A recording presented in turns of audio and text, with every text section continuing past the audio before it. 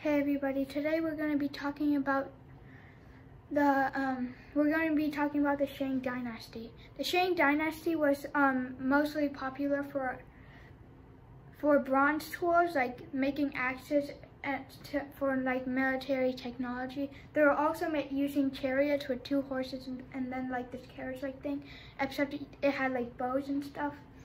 So that gave them a, um, an advantage in military technology and other than that, um, they use oral, oral um, bones, and then they write a question on it in Chinese, and then um, they'd um, burn it in fire, and the cracks would be on like basically the answer to the question. So basically, it's like um, trying to tell the future with them.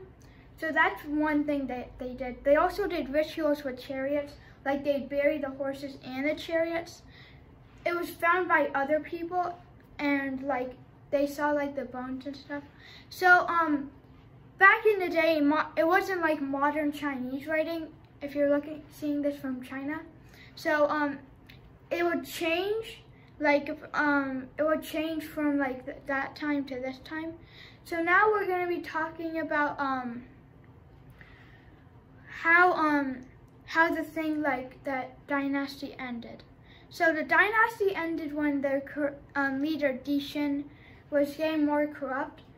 One of the reasons for that, they people were like blaming the wife, his wife and stuff. Historians sometimes say his wife was the cause for his corruption, but I don't. I'm not sure if that's the case.